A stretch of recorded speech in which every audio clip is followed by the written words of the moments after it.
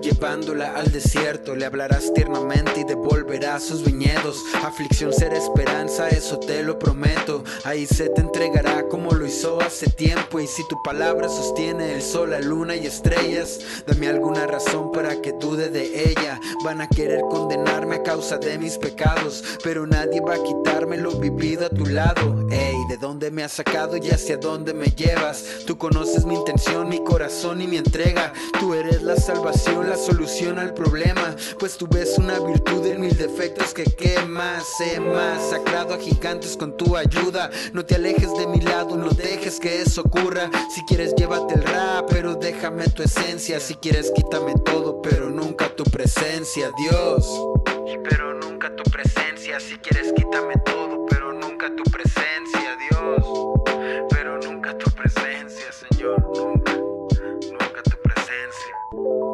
Oseas 2:14.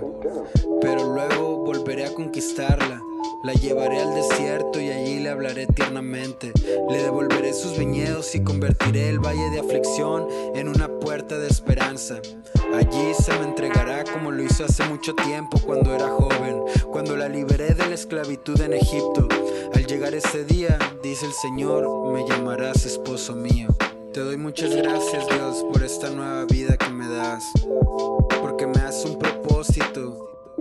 y un futuro seguro, que es una eternidad adorando al Padre.